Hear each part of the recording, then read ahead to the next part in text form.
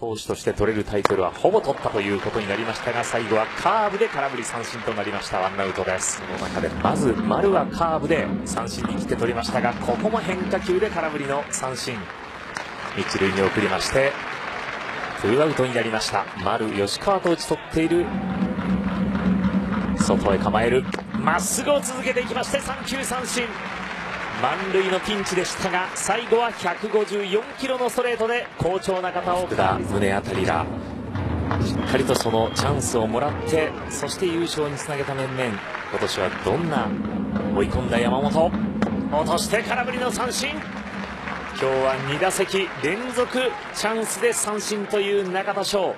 しかしそれから4年ぶりにキャンプ中に100球以上の投げ込みを行ったりして、まあ、一つ去年とは違いを見せたいという気迫を感じます。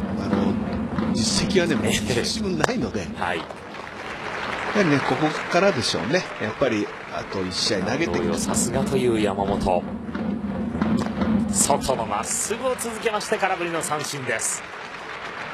今日、山本の方は6つ目の三振なんですが、小川さん、はい。